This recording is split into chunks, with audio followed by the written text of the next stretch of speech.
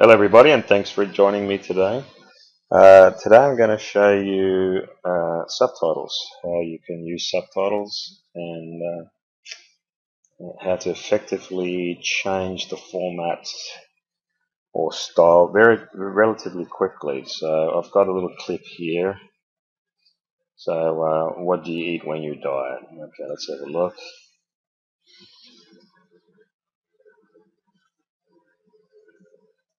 Pizza, eggs, and gas.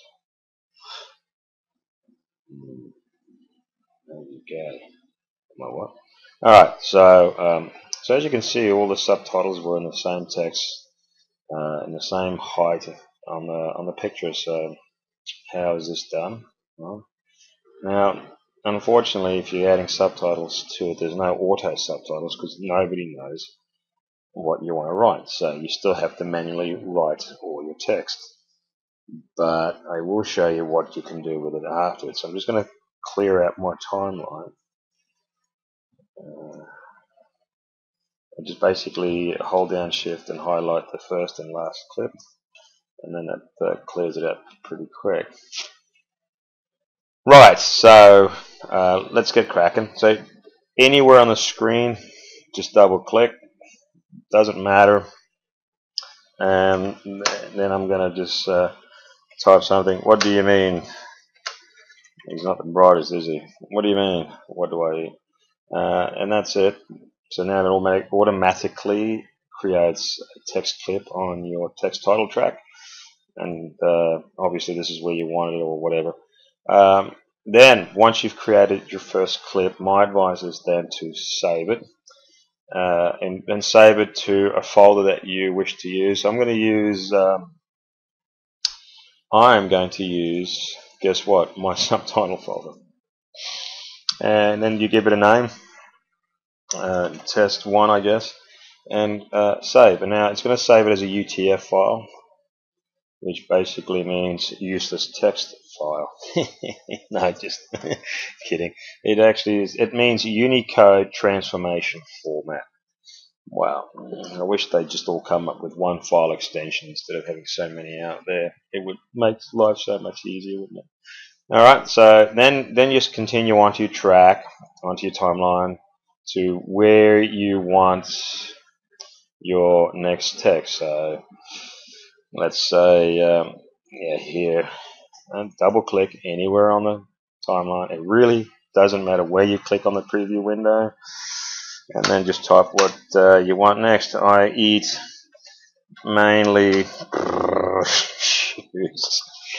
I'm losing it and uh, just again once you've done with that just uh, move your clip to the next you can press play whatever whatever you know you need to do um,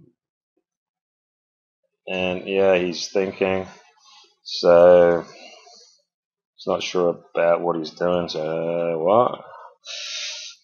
Okay, you know, that, that will do because it's a tutorial uh, how to use the subtitle text and not me making subtitles for you.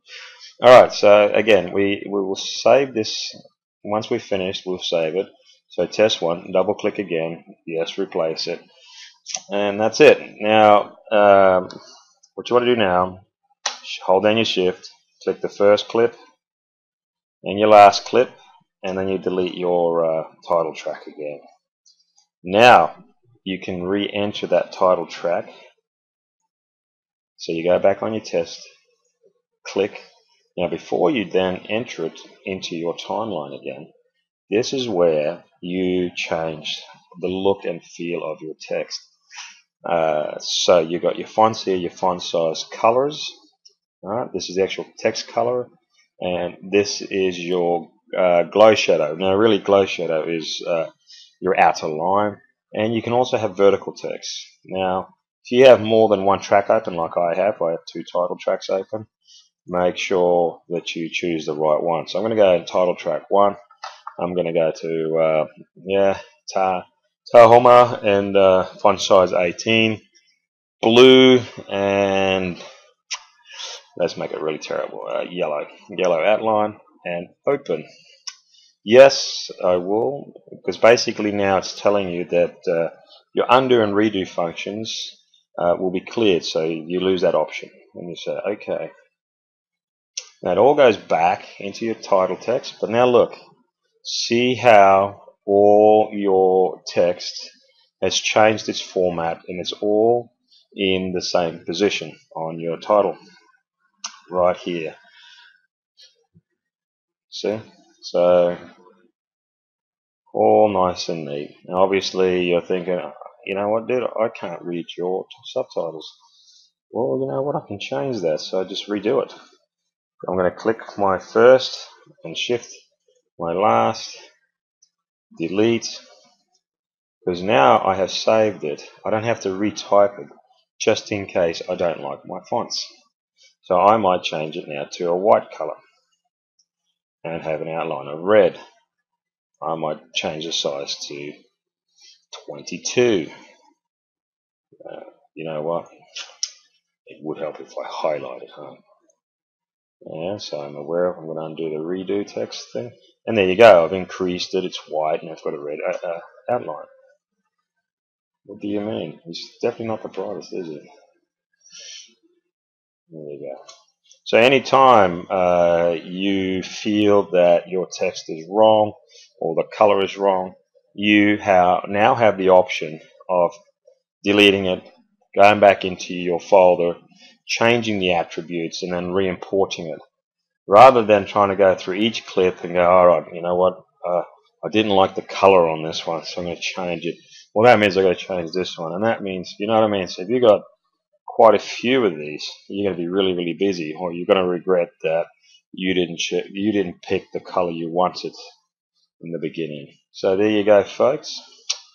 Working with subtitles can be easier if you just save it, and uh, yeah, that's it. And as always, thanks for watching.